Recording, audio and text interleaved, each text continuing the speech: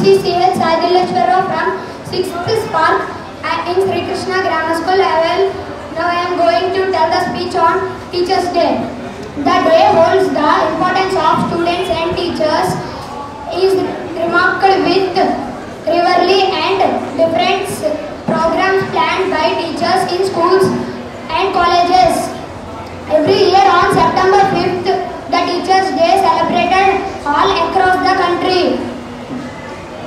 teacher, the Teachers' Day, the Teachers' Day has celebrated the birth anniversary of Sarve, Dr. Sarvepalli Radhakrishna Scholar, Bharat Ratna, and first Vice President of India, and first Vice President and second President of Independent Day.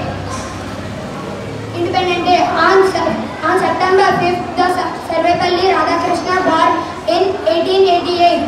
Thank you.